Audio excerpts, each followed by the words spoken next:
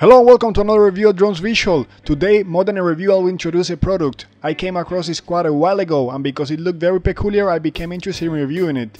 I'm talking about, as you can see, of the Lisam Keel 270. Now, let me tell you that initially there were two versions of this racer, one with the FPV equipment and another one without it.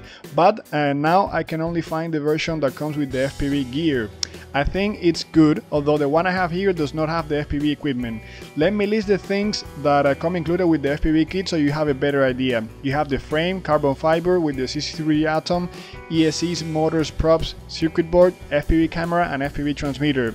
I placed a link in the description in case you would like to go over the list with more details.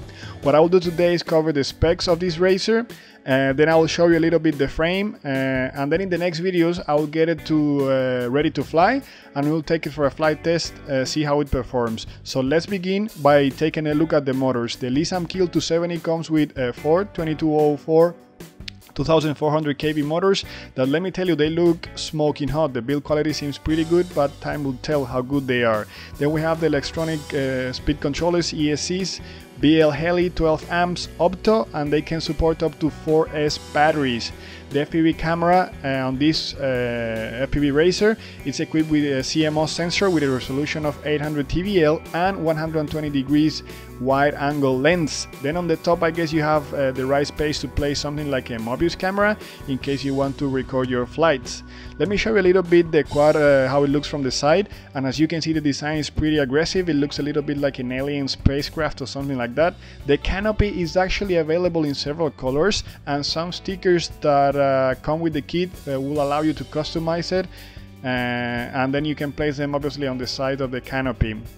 Uh, now let's remove the upper section of the racer to get a better understanding of the structure of the frame and to get a better view of the inner section of the quad. I'll start by trying to remove these screws here on the side, see whether the canopy comes off. And actually I only needed to remove these screws here on the side and the whole front, uh, I mean upper section uh, became loose. Here you can get a better view of the upper section. The FPV camera is attached to the front part of the quad. You can see here we have the signal and power wires attached to it. And then uh, you have like different levels or compartments for potentially attaching your Mobius and any components you place within that section should be well protected by the frame.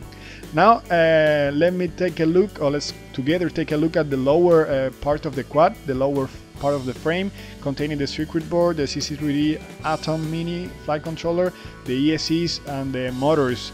You might have noticed that there is a separate JST connector to power your FPV system and then uh, on the other side you have a connector to power the quad straight from a LiPo that can have up to 4 cells. The components are arranged with care, uh, everything looks tidy which I really appreciate.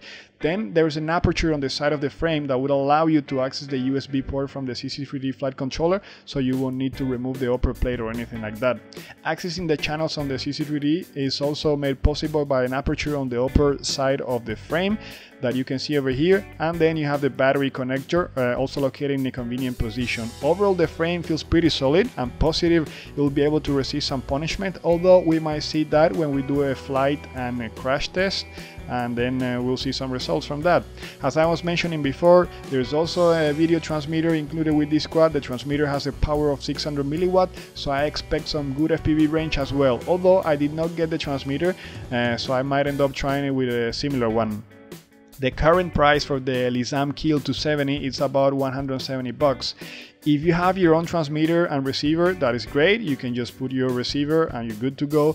But you could also get a FlySky transmitter and receiver for about 50 bucks. So you end up maybe paying for everything around 220 bucks or something like that. In my next video, we'll be examining the frame a little bit further and hopefully taking it for a flight test. I hope this video at least was useful to you. Uh, and um, if it was, please just drop me some comments here below uh, asking uh, any questions or just sharing your opinion, I will certainly get back to you. Uh, to get the latest quadcopter, drone, uh, and uh, aircraft news directly from China, please do subscribe to my channel. Thank you for your support and for watching and hope to see you all in my next video.